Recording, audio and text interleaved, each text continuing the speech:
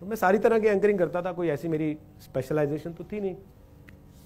तो मेरे एक बॉस ने मुझसे कहा कि तुम्हारी क्या स्पेशलाइजेशन है? मैंने कहा, सर, मैं तो सब कर लेता हूँ। उन्होंने भाई, सब तो कर लेते हो। किसी चीज़ में मास्टरी तो होगी। मैं, सर, सब में मास्टरी है अपनी। तो उन्होंने कहा कि, गुरु, ऐसा सुनो, आगे नहीं चल पाओगे इससे। कहीं मास्टरी बनानी होगी। मैंने कहा, सर, किसमें बनेगी? बोले, क्रिकेट में बनाओ। मैंने क्रिकेट का सीन ही देखा था तब तक। मैं तो अपने घर के बाहर क्रिकेट नहीं खेली थी, आज तक की बॉल तेज लग जाती थी। तो मैं घर के अंदर वाली क्रिकेट खेलता था केवल अपने भाई के साथ जितनी खेली थी। तो मुझे लगा क्रिकेट पे एंकरिंग करना। मैंने कहा, यार अच्छा चलो, मैं सोचता हूँ, कोई बात नहीं। अभी उन्होंने मुझे ऑफ़र दिया ही था, उसके दो दिन बाद अचानक से मेरे पास कॉल आया कि आज शाम को तुम्हें क्रिकेट का शो करना कपिल देव के साथ। Kapil Dev was the guest अब उससे बड़ा तो आदमी था नहीं उस वक्त हिंदुस्तान के क्रिकेट में कपिल देव से। कपिल देव के साथ बैठ के क्रिकेट का शो करना ऐसे आदमी को जिसको क्रिकेट का सीन ही आता हो, वो क्या करेगा? मुझे लगा आज तो हो गया, नौकरी खत्म। आज ये आधे घंटे के शो के बाद तुझसे बुला करेंगे, भैया, ऐसा कुछ ना आता तुमको, तुम अपना वहीं करो पर्दे पीछे रहो वीडियो एडिटिंग करो। तो मैं कैंटीन से खाना खा के निकल रहा था। अखबार एक उड़ता हुआ आया, पैर के पास पड़ा। मैंने उसे पाँव मारा तो वो उड़ के मेरे ऊपर ही आ गया। किसी ने ब्रेड पकौड़ा, खाने के बाद फेंका होगा। तो उस पर रवि शास्त्री का कॉलम था, कायदे से दो तीन दिन पुराना ही अखबार था। और सबसे अच्छी बात हिंदी में था। तो वहाँ कैंटीन से न्यूज़ रूम तक जाते जाते मैंने पूरा पढ़ लिया।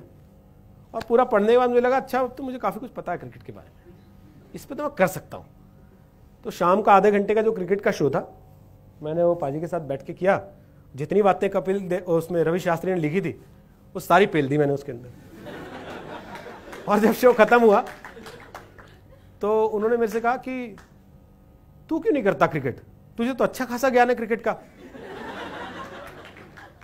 मैं अब उनसे क्या बोलता? मैंने कहा मैंने कहा, सर, मैं क्या बोलूँ इसमें? आप बोलो इन लोगों से। आप बोलोगे तो हो सकता है ये मेरे से करवा लें।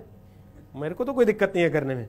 तो बाहर निकलते उन्होंने मेरे बॉस से कहा, यार, तू ऐसे मुंडे ने कराया करना इसको बड़ा आता है क्रिकेट का यार। तेरे बाकी लोग तो मेरे से ही पूछते रहते हैं, क्या पूछना है? तो हिंदुस्तान का सबसे बड़ा कप्तान आपकी पैरवी कर रहा है वहाँ पे खड़े होके। और आप सोच रहे हो कि यार मैंने गलत किया या सही किया? मेरे बॉस ने साथ ही बोल दिया हाँ सर कल से इसी से करा देते हैं। सुन, तू ही कर लेना कल से। तो अब मुझे लगा, भाई, अब तू फंस गया। बट मैंने घर जाते ही क्या कहा? मैंने घर जाते ही सारे पुराने अखबार निकाले जो पाँच सात, दस दिन के पढ़े थे। सब में रवि शास्त्री के कॉलम काट काट के, काट काट के इधर रख लिए बेड साइड पे अपने। कि जब मौका मिले, सोते, जागते, उठते, बैठते, टॉयलेट जाते, नहाते, खाते, नाश्ता करते, बस वही पढ़ लो, रवि शास्त्री का कॉलम पढ़ लो, रवि शास्त्री का कॉलम पढ़ लो, रवि शास्त्री कॉलम पढ़ लो। फिर अपने एक दोस्त को बिठाया, मैंने कहा, भाई, तू मेरे को समझा दे, ये थर्ड मैन क्या होता है? स्लिप क्या होती है? कवर क्या होता है? गली क्या होती है? मिडफील्ड क्या होता है? ऑन फ़ील्ड क्या होता है? ऑफ़ साइड क्या होती है? वाइड क्या होती है? ये सारी चीज़ें तो मुझे समझा दे। उसने बाकायदे ग्राउंड बना के कागज़ पे सब चीज़ें मुझे समझाई, सिखाई। और ये बात केवल उसे और मुझे ही पता थी कि जो आदमी टीवी पे रोज क्रिकेट का शो कर रहा है, उसे ग्राउंड आज सिखा रहे हैं हम लोग की कैसा होता है। पर मैंने वहाँ पे हौसला नहीं छोड़ा। वो रवि शास्त्री के कॉलम पढ़ पढ़ के ही दो दिन, चार दिन, छह दिन, सात दिन, आठ दिन, दस दिन मैंने आठ साल क्रिकेट के शोज़ किए, वर्ल्ड कप क्रिकेट कवर किया, दुनिया भर के देश घूम लिए क्रिकेट के। जहाँ जहाँ क्रिकेट मैच होते थे, वहाँ कवर करने जाता था। और आपको यकीन बताऊँ, पहली बार जब मुझे सड़क पे किसी ने आके रोका, मैं कॉमजम रेस्टोरेंट में खाना खाने गया था रात में, निज़ामुद्दीन पे। तब नया नया खुला था, बहुत क्रेज रहता था उसका, बहुत भीड़ होती थी वहाँ। तब उसकी इमेज इतनी ख़राब नहीं थी जितनी आज खराब है। लोग परिवार के साथ भी आते थे। तो मैं गया वहाँ पे, बैठा हुआ था मैं अपने दोस्तों के साथ दो तीन तो तीन लड़के आए आपकी एज के मेरे पास बीस बाईस साल के। भैया, आप रोहित सरदाना है? मैंने कहा हाँ बताइए। आप जी न्यूज़ पे क्रिकेट वाला प्रोग्राम करते हैं ना? मैंने कहा, ये अपना क्रिकेट का शो करना सक्सेसफुल हो गया। आज पहली बार किसी ने जो है बाहर आके पहचान लिया कि ये आदमी वही है जो टीवी पे आता है। आप सोचो, मैं जब अपने घर से निकला था तो मैं ये थॉट लेके निकला था कि भाई आप जब बाहर निकलो तो लोगों को आपको पहचानना चाहिए। तब वो 2006 में जाके 2007 में जाके मुझे लगा 2008 में जाके, कि हाँ भाई, अब उस दिशा में आपने बढ़ना शुरू कर दिया। अगर मैं पहले दिन उससे कह देता कि सर, मेरा तो क्रिकेट में कोई ऐसा है नहीं इंटरेस्ट मैंने कभी जीवन में क्रिकेट खेली नहीं। जैसा हम आमतौर पर करते हैं, कोई अपॉर्चुनिटी आती है, हम उसको अपने उस पर टेस्ट करते हैं कि भाई, हम इसके साथ कितने कंफर्टेबल हैं, और हम फाइनली उसको डिनाई या एक्सेप्ट कर लेते हैं वहाँ पे आने के बाद।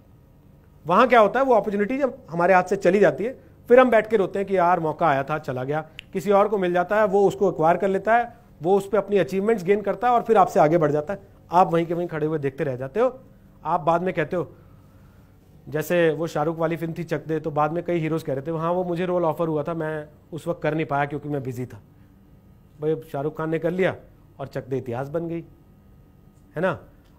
दंगल आमिर खान ने कर लिया, वो इतिहास बन गई। ऐसी कितनी ही फ़िल्में आपको मिलेंगी जहाँ पे एक हीरो कर लेता है, वो इतिहास बना देता है और बाकी के लोग बाद में आके कह रहे होते हैं एक्चुअली ऑफ़र तो मुझे ही की गई थी लेकिन मेरे पास टाइम नहीं था। भाई तब तेरे पास टाइम नहीं था अब तेरा टाइम खराब हो गया इसी वजह से। सो so, आप लोगों को मेरा यह सुझाव है कि जीवन में जब भी कोई ऐसा मौका आता है कोई अपॉर्चुनिटी आती है कोई ऐसी चीज़ आती है जहाँ पे आप हो सकता है उस समय उसके मास्टर नहीं भी हो उसको डिनाय मत करो उसको धक्का मत मारो उसको लात मत मारो उसको पकड़ो अपने आप को जज करो अगर आज की तारीख में कहीं आपको लग रहा है कि आपके पास थोड़ी सी भी पॉसिबिलिटी है कि आप उसको जस्टिफाई कर सकते हो, अपने आप को थोड़ा सा मॉडिफाई करके तो उसको करना चाहिए। उसको छोड़ नहीं देना चाहिए। क्योंकि जब आप छोड़ दोगे तो वो किसी और के लिए हो जाएगी। और जब वो किसी और के लिए हो जाएगी तो आपका कंपटीशन आपसे वहाँ से आगे निकल जाएगा। आप उससे पीछे रह जाओगे। तो मैं आप लोगों को सिर्फ़ इतना ही आज ये कहना चाहता हूँ कि हम लोग बहुत सारी चीज़ों में, बहुत सारे मौके आते हैं जीवन में, जहाँ हम बहुत छोटी छोटी बातों से कि अच्छा इसने ऐसा कह दिया, उसने वैसा कह दिया, इसने तो मेरे मन का नहीं कहा, मेरी मम्मी ने ऐसा बोल दिया, मेरे पापा ने ऐसा, हम उन चीज़ों को जाने देते हैं और फिर बाद में हम पछताते हैं। तो पछताने से बजाय बेहतर है उस समय उस चैलेंज को एक्सेप्ट कर लेना, उस चैलेंज को फेस करना, उस चैलेंज को टैकल करना और एक विनर की तरह आगे बढ़ जाना।